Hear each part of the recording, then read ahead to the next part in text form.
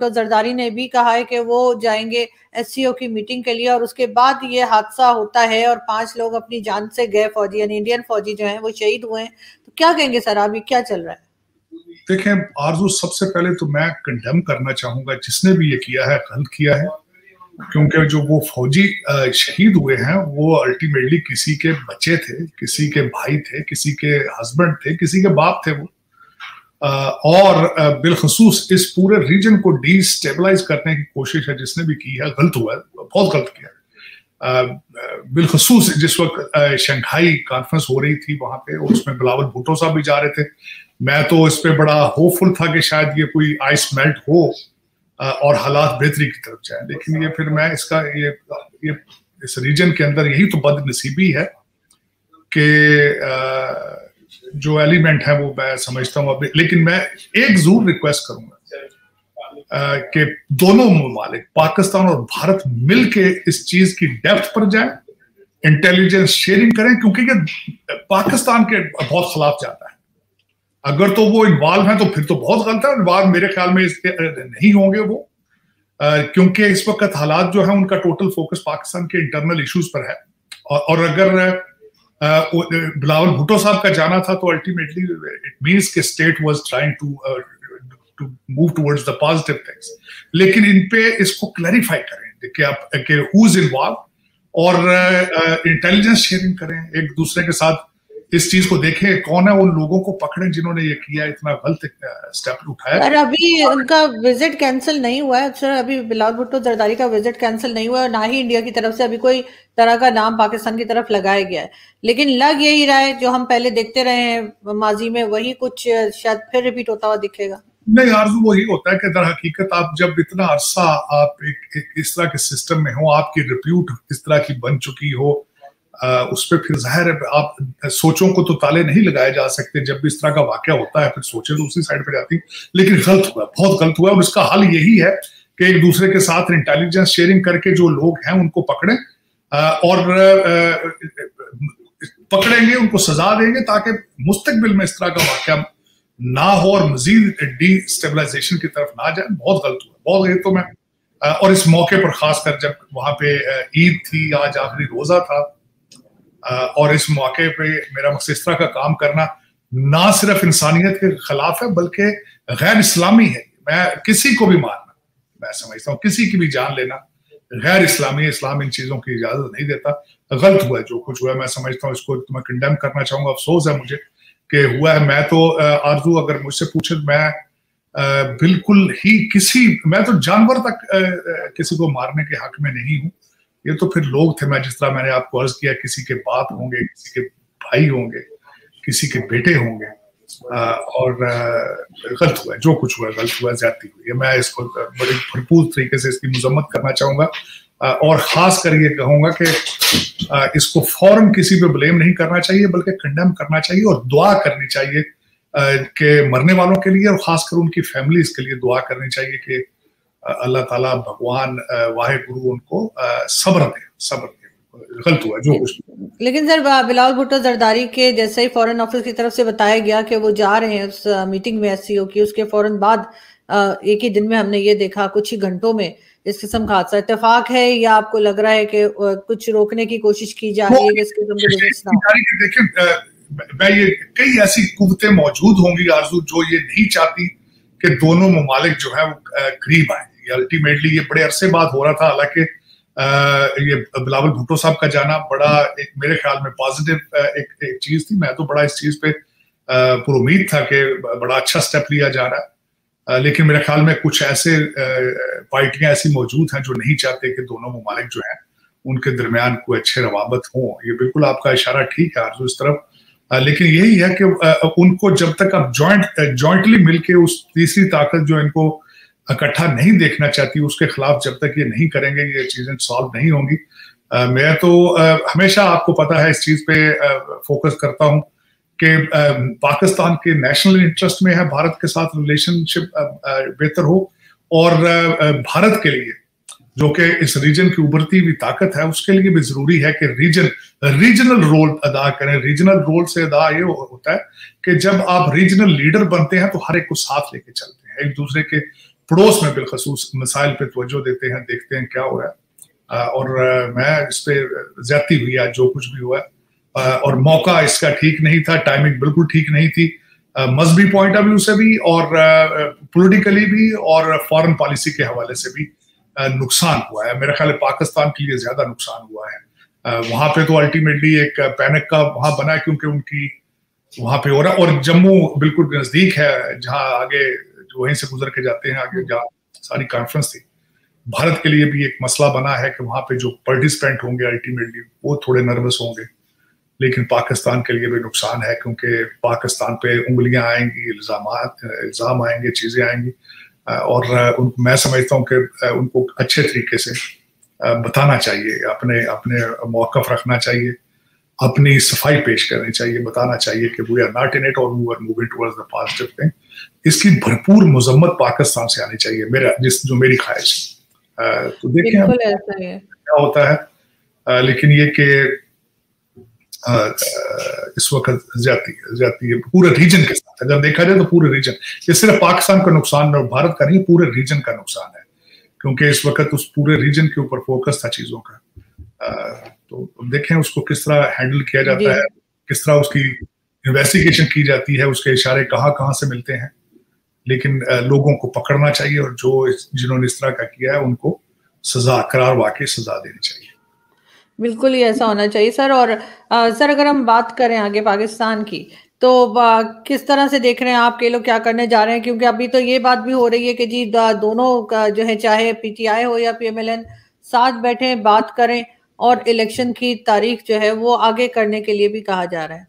देखिए, आज मैं इस पे, मैं, अभी आपके इस शो से पहले मैं देख कर आया हूँ कि इस वक्त दोनों पार्टियों के क्या मसाइल हैं। दोनों पार्टियों के मसाइल ये हैं, मैं आपके सामने रखना चाहता हूँ कि बिलावल भुट्टो साहब, फजलुर रहमान साहब से मिले। फजलुर रहमान साहब ने बिल्कुल इनकार कर दिया। वो कहते हैं, हम इनके, इसके साथ नहीं बैठेंगे। क्योंकि उन्हें शक है कि अगर इनके साथ हम डायलॉग करेंगे तो खास साहब जो कि बार बार यू टर्न ले लेते हैं उनकी गारंटी कौन देगा कि हम किसी कंसेंसिस पे पहुँचते हैं लेकिन खान साहब उससे अगले दिन मुकर जाएँगे। अब उसमें मैं दूसरी चीज़ ये बताना चाहूँगा कि नवाज़ शरीफ साहब हैं वो भी इस हक में नहीं है।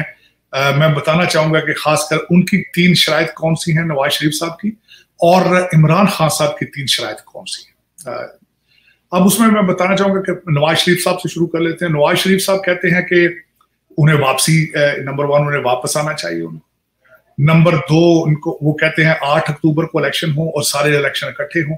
और तीसरा वो कहते हैं हमें जो खान साहब के ऊपर या पीटीआई के लोगों के ऊपर जो जेन्यन केसेस हैं, उनको वापस नहीं होना चाहिए, उनको वही रहने चाहिए।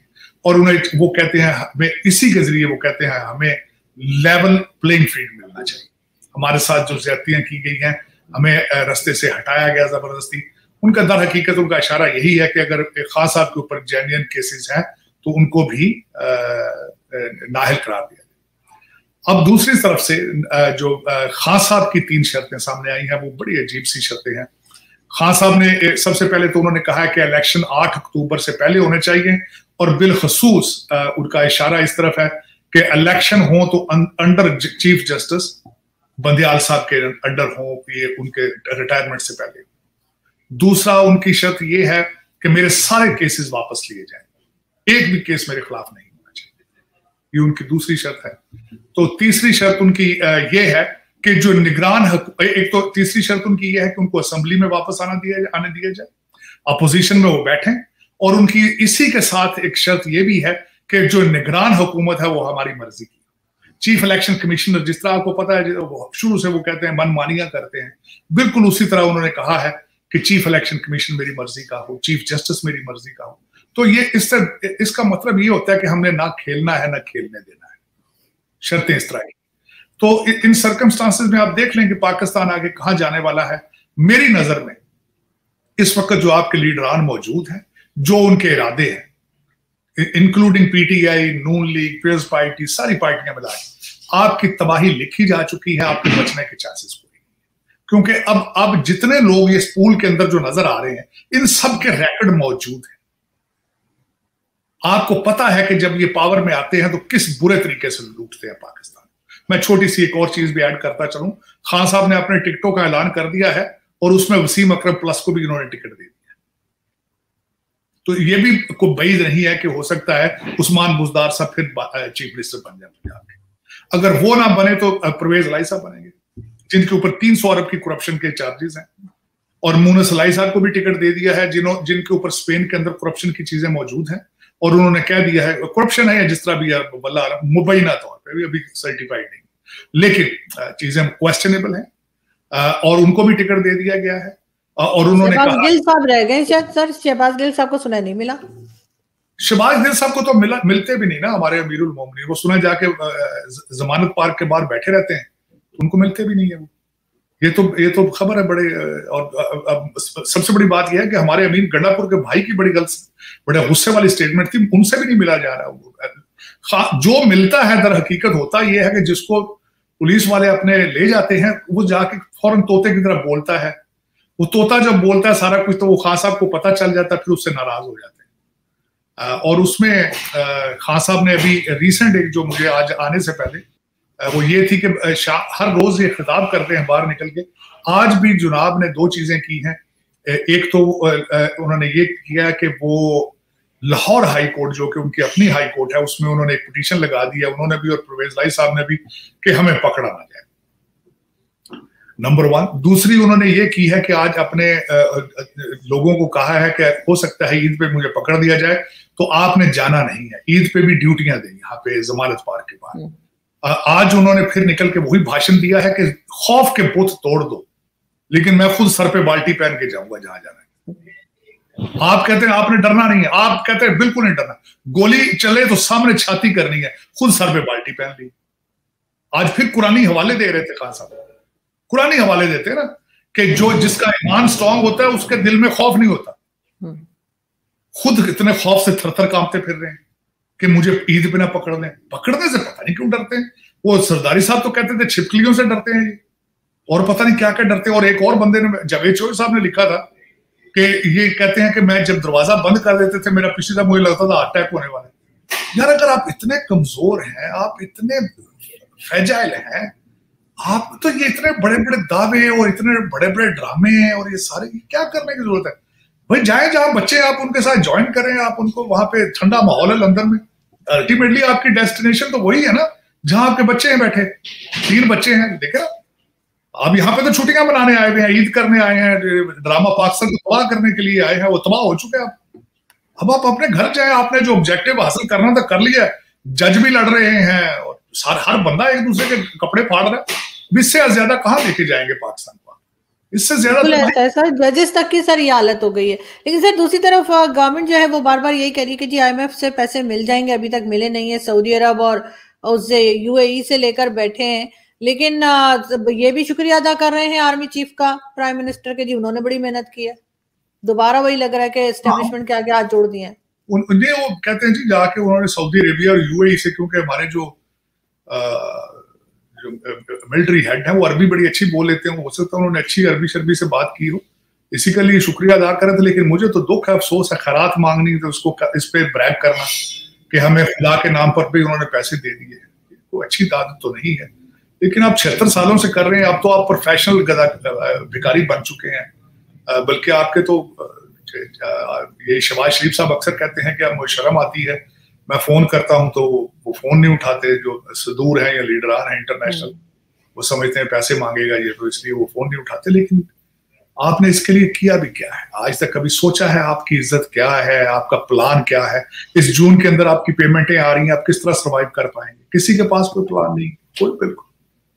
एग्रीकल्चर कंट्री है प्लाटर प्लाट उसके फ़सलों को काट काट के प्लाट बना के बेच रहे हैं एक फेक इकोनॉमी क्रिएट कर रखी कोई मेरा मकसद, लेकिन इसमें जो बॉटम लाइन है, आरज़ू, वो ये है कि आपने आपने पाकिस्तान बनाया नहीं, आपने सिर्फ़ डॉक्यूमेंट्स में बनाया पाकिस्तान नंबर वन दो चीज़ों को आप समझने से कासर रहे हैं। शुरू से आपने ना पाकिस्तान को समझा, ना इस्लाम को समझा।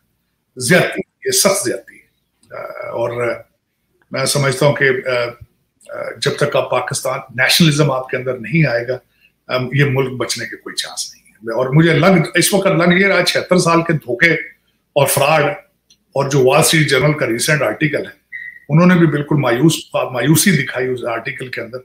मुझे नहीं उम्मीद कि आपके बचने के कुछ ऐसे से तो मुझे तो थोड़ी सी उम्मीद ये लग रही थी कि बिलावल भुट्टो जरदारी जाएँगे।